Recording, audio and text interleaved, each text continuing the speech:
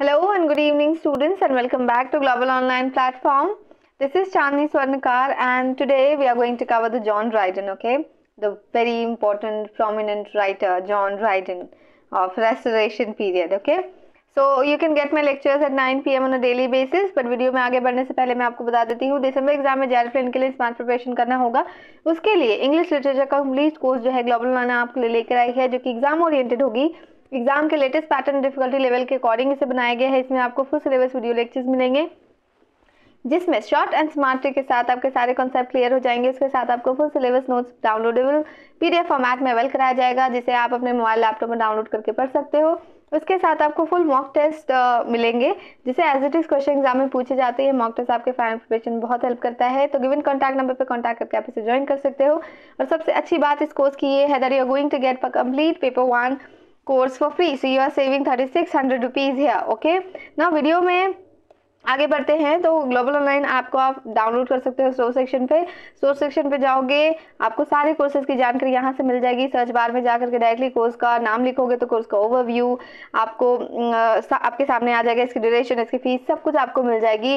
Content section पे जाते हो तो क्लिक करते हो तो यूनिट वाइज जो है आपको फोल्डर्स मिलेंगे अवेलेबल मिलेंगे। हर एक यूनिट में theory lectures evaluation notes mock test and MCQs आपको मिलेंगे। इसके अलावा आपको कुछ भी पढ़ने की ज़रूरत नहीं है। और इसके साथ अगर आप ग्लोबल ऑनलाइन पेड कोर्स को ज्वाइन करते हो तो आपको व्हाट्सएप ग्रुप में भी ऐड किया जाएगा, जहाँ पे हर एक सेशन की पीडीएफ आप लोगों के साथ में प्रोवाइड करवाई जाएगी। ओके ना moving on to our next main uh, topic that is John Dryden. So first you have to understand the duration of uh, John Dryden and you also need to remember that okay? So John Dryden was born in 1631 and died in 1700 okay? Now next some of the uh, facts about John Dryden that he was English um, he was an English poet literary critic because he wrote some of the criticism okay? Works of criticism he was also a translator, playwright. Okay, you will get to know uh, very soon. Now, he was appointed as first poet laureate. Okay, England's first poet laureate. So, what a achievement he got. Now, he honored with. Now, uh, several other writers has commented a positive comment that John Dryden uh, got. And Sir Walter, for example, Sir Walter Scott said, called him Glorious John. Okay, so these are the comments that you must remember. For example, Matthew Arnold famously dismissed them as classic of our prose, classics of our prose. Okay, second comment. Third one is Johnson also noted, however, that he is therefore with all his variety of excellence not often pathetic and had so little sensibility of the power of infusions purely natural and that he did not esteem them in others. Simplicity gave him no pleasure.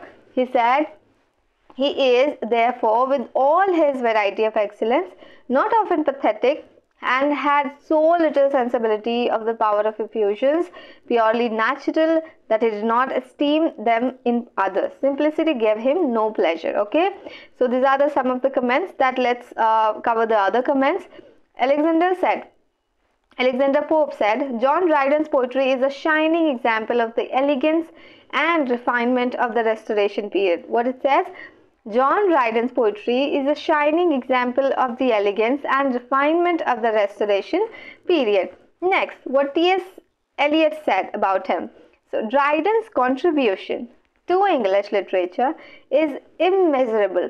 He played a pivotal role in the development of heroic couplets and neoclassical ideals. So, according to T.S. Eliot, you cannot even measure Dryden's contribution to English literature. Okay. He says Dryden's contribution to English literature is immeasurable. He played a pivotal role in the development of heroic couplets and neoclassical ideas. Right now, let's cover the Samuel Taylor Coleridge. What he said we should know.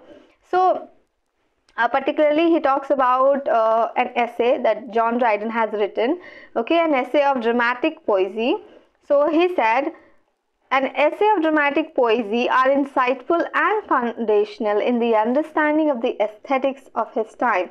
So, if you really want to uh, get the foundation or do you really want to understand the aesthetics of his time, uh, John Dryden's time, so do read an essay of dramatic poesy said by Samuel Taylor Coleridge. Okay. Now let's cover the works of uh, John Dryden. So the first work is The Wild Gallant. Okay, so the first work is what? The Wild Gallant. It's a restoration comedy. First, you need to understand it's a comedy. Now, uh, he was actually um, said that it was the it was his first attempt in dramatic poesy. He also stated in his preface saying the first attempt I made in dramatic poetry. Okay, and um, it was his earliest plays, like was Dryden's earliest plays, and it was written in prose except for the prologue and the epilogue, which theatre, formerly Gibbon's Tennis Court in 1663. So he wrote uh, the whole play in prose, but uh, except the prologue and the epilogue, and it was performed by Gibbon's Tennis, performed in Gibbon's. Uh, tennis court in 1663 okay? So these are the facts related to the wild gallant you must remember. Now moving on to the next work the rival ladies okay? The rival ladies. I hope you all know about tragicomedy what is tragicomedy because earlier it was tragedy uh, on one side and comedy on the other side okay?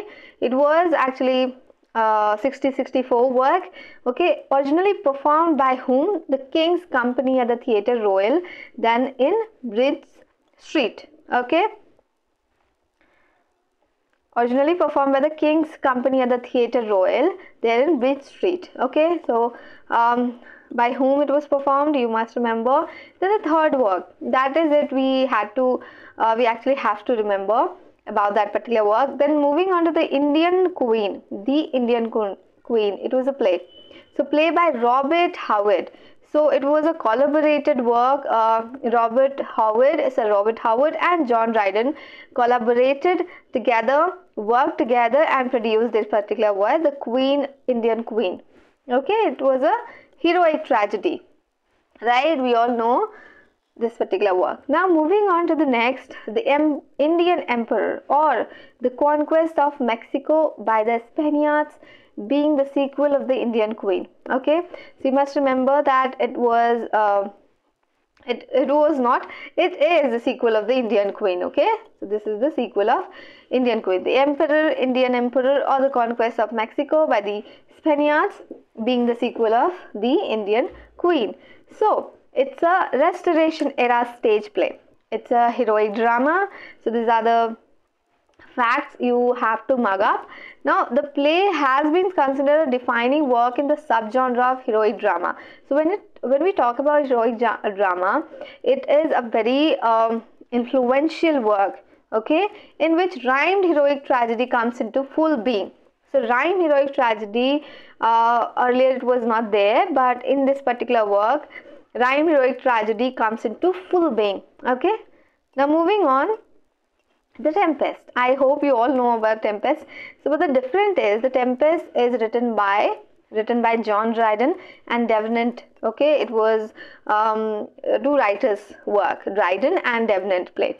Now tempest ko jo hai the enchanted island bhi keh rahe hain it is also known as the enchanted island.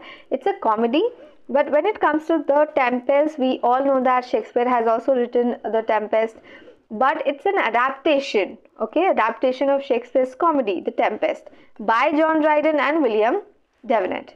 Okay, so you must remember that. Now the next one. Which one?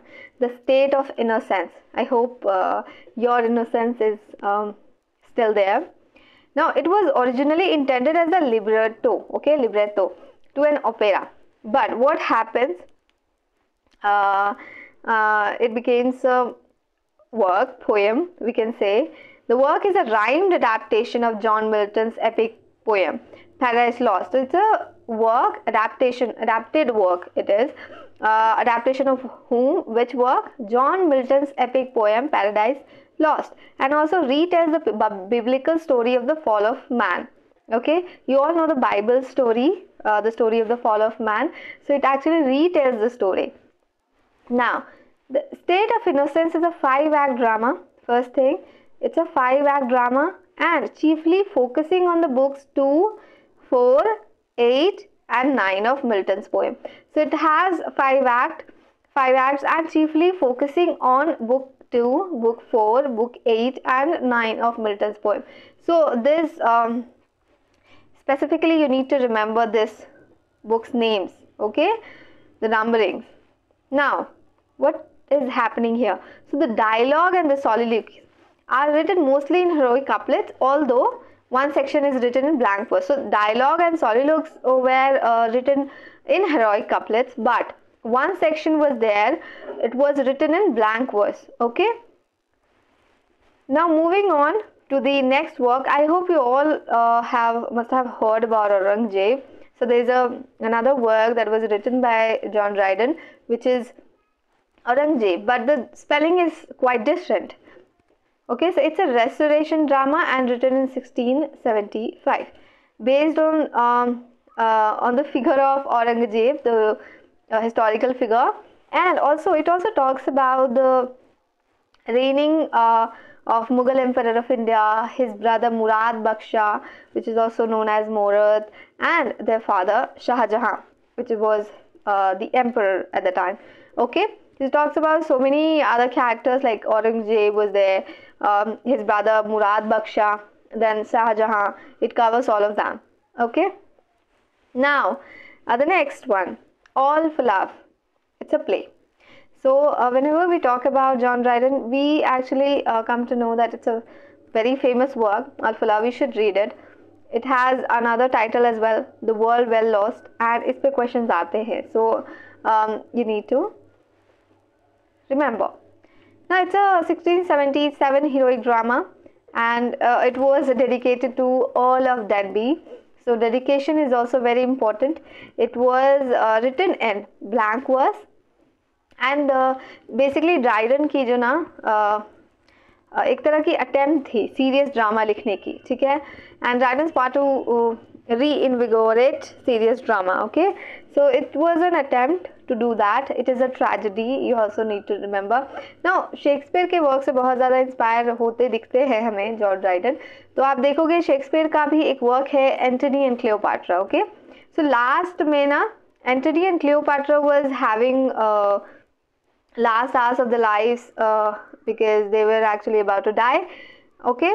So वहाँ उस time के uh, जो भी चीज़ें हुई उनको actually में imitate किया है इस पर्टिकुलर वर्क में।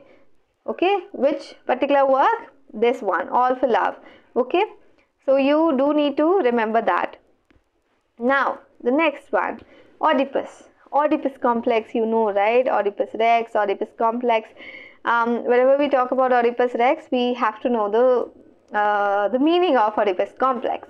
So it's a Dryden play, don't get confused. It's a heroic drama and Sophocles का जो Oedipus Rex है ठीक है उसका अडेप्टेशन है अब अडेप्टेशन हुआ है पर John Dryden and Nathan Lee दोनों ने मिल के किया है so you need to remember अगर किसी राइटर ने किसी राइटर के साथ अगर कोई वर्क लिखा है तो both the writers are important okay so Oedipus जो है ड्राइडन का प्ले है एक हीरोइक ड्रामा है। It's an adaptation of Sophocles Oedipus Rex written by John Dryden and Nathaniel Lee moving on see Troilus and Cressida और truth found too late so बहुत ज़्यादा late से अगर सच का पता चले तो it's a waste right so Troilus and Cressida जो है 1679 का ट्रेजिडी है एक तरह का एक प्ले है। Uh, अब आप ध्यान रखिएगा जॉनरा क्या है कौन सा है so it's also very important first state by the first state by the dukes company at the Dorset Garden Theatre in London.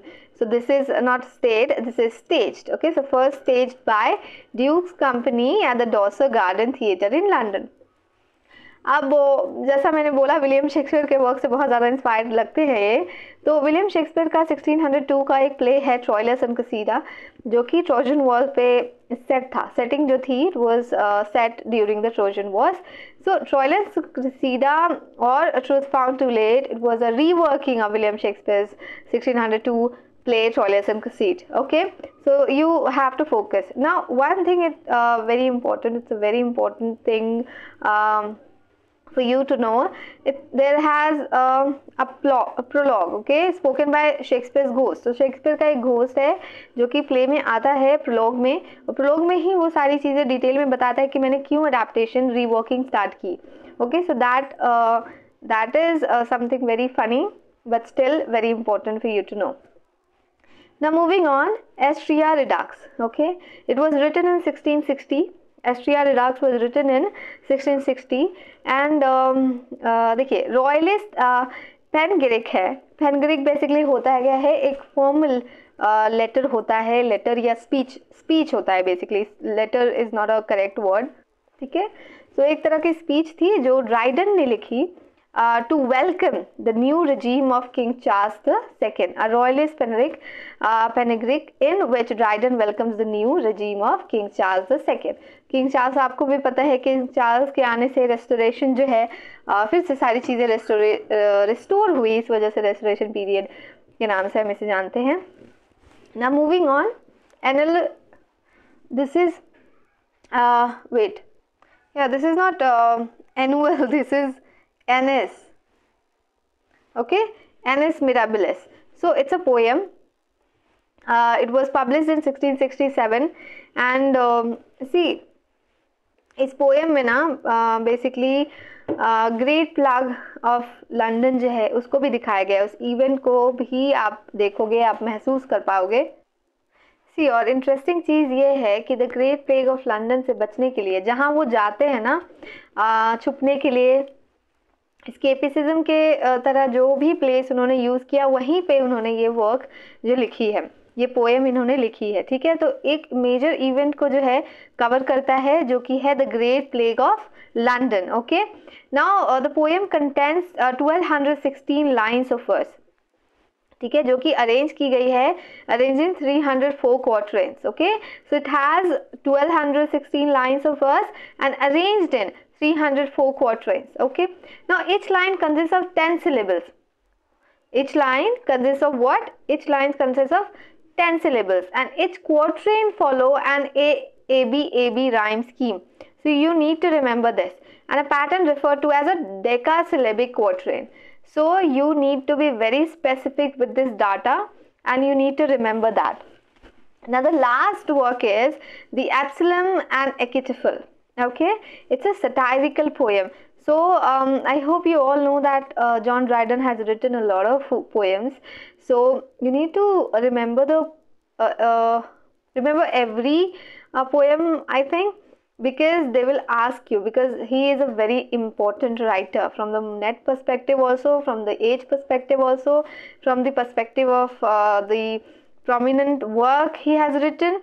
Okay? In every aspect he is very important now, Absalom and Achitophel is a satirical poem that you need to remember and it was written in heroic couplets, published in 1981. So, it's a satirical poem written in heroic couplets and published in 1981. Now, moving on to the last slide. Um, it actually tells the biblical tale. Biblical tales uh, specifically means that a story from the Bible, okay? So it tells the biblical tale of the rebellion of Absalom against King David. So Absalom was very upset with uh, King David and wanted to defeat him. So Absalom actually rebelled against whom? Against King David. So one thing is also uh, there that you need to remember that it has references of the popish plot. I I have uh, actually discussed the popish plot uh, earlier in um, previous lectures I think. So popish plot was uh, was taken place in 1678 so it has the reference of it okay now Absalom and Achitophel is generally acknowledged as the finest political satire in the English language. So when it comes to political satire in the English language, Absalom and Achitophel actually generally acknowledged. Okay, it has been acknowledged and still acknowledged as the finest political satire in the English language. Right? So that is it you need to remember and uh, be very particular.